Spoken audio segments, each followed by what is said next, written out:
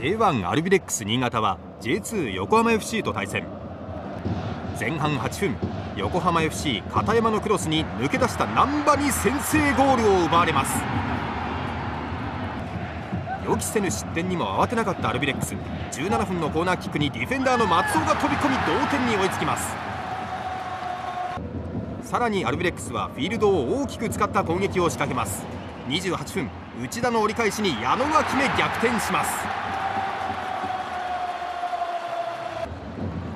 試合終了間際にもマルシオ・リシャルデスがダメ押しのゴール。